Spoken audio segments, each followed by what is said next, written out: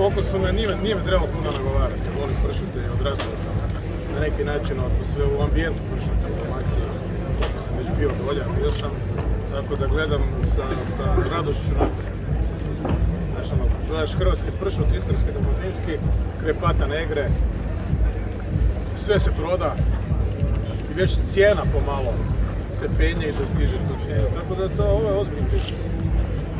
Kako komentirate evo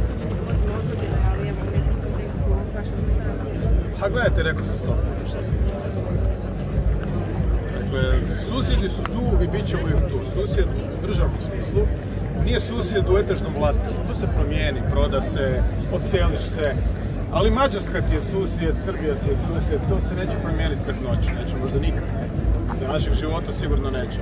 I tu treba paziti kakve se poruke, kako se to kaže, šalju, šta se radi, kako druga strana na to reagira. Recimo ja, Bago ljeto, Jansko ljeto.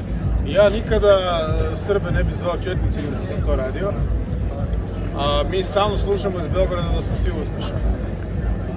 Mi smo u puno čvršćoj međunarodnoj poziciji od Srbije i oni se moraju odlučiti šta hoće sa.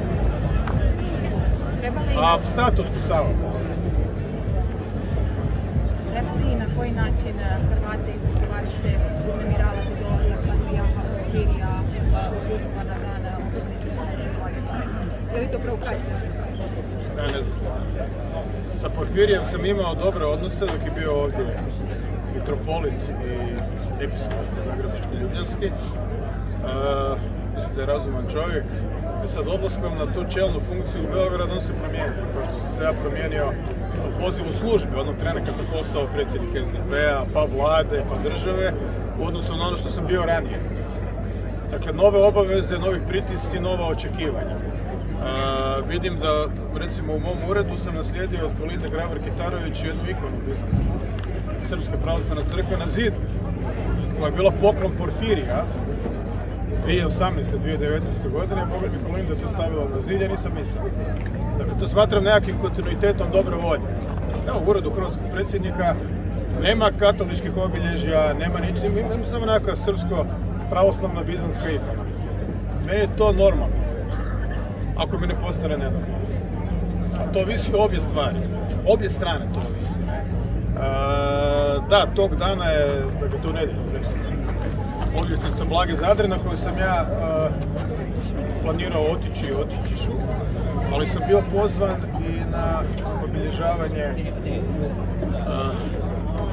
to je Dakle, mislim da je ta crkva posvećena svetom Nikolaju Velimiroviću, to je jedan episkop Srpske pravoslavne crkve iz vremena Drugog svjetskog rata, koji na jedan način gledaju oni, na drugi način gledamo mi kao i Stepinca, na jedan način oni, na drugi način mi. Nema tu sreće i nema tu pomirenja ove generacije. Dakle, neću otići na kraju, pozvan sam na to, na, na taj dolazak Porfirija. Mislim da je to malo nezgodno u trenutku, a posebno je nezgodno što njegovi podređeni, jer Srpska pravoslavna crkva je državna crkva, ona je hjerarhična u tom smislu isto kao i, katolička crkva, možda malo manje, ali hjerarhična.